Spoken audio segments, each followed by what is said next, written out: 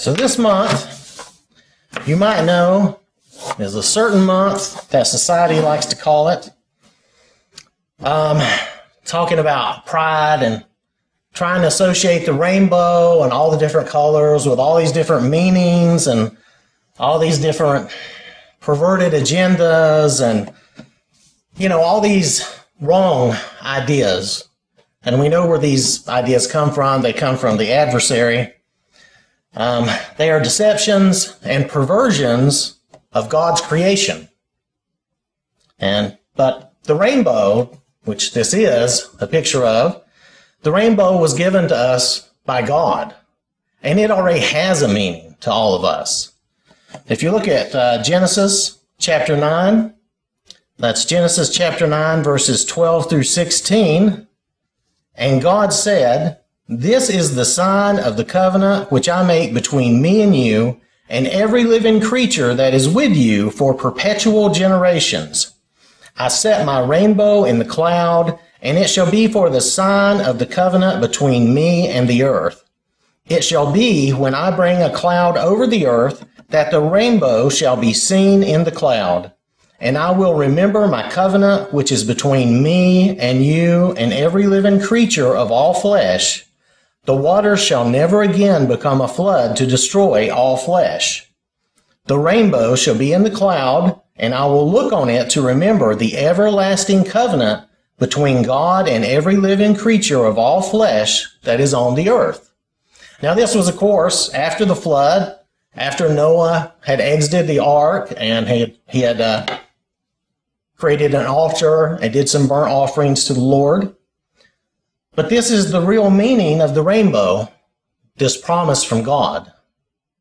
I just don't want us to ever lose track of that or forget that because sometimes we hear so much of this other nonsense, it's it's easy to lose track of that and you start to resent the rainbow, which I've almost caught myself doing, but then I realize this is really from God. That this is what it's really, what it really is. It's that covenant from God the rainbow represents. He created this rainbow and set it in the sky as a reminder to him, but it also reminds us, which I think is a great thing. And if you've ever seen a lot of rainbows, I know we don't see them all the time, but when we see them, it's kind of a special thing. So, uh, to see uh, more of the promise that this represents too, you can back up because there's this whole conversation that God is having with Noah after the ark. If you look at Genesis chapter 8 and verse 22, a part of this covenant, a part of this promise.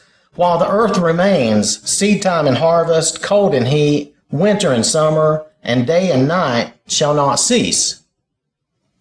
So there is that too, that's a part of that covenant. You can read the whole thing, of course, for yourself. I didn't want to spend your whole evening reading Genesis 8 and 9, but we could. It wouldn't hurt anything, but, but this is all a part of that covenant that God established after the flood. He is still watching over us and maintaining this covenant. It is due to Him that we are all still here and the earth is here. So it's just, just something I thought was important for us to remember what the rainbow really means, what it stands for, and we don't want to let other people honestly take that away from us. So that is about that is it's, god's covenant and his care for us. That's what the rainbow represents. Regardless of what anyone else might, might say or think about that it represents his promise to us. So if anyone here though would have any need we have set this time aside and dedicated it for this purpose. If you have any need for any prayer or anything we can assist you with please uh, come forward and let us know while we stand and sing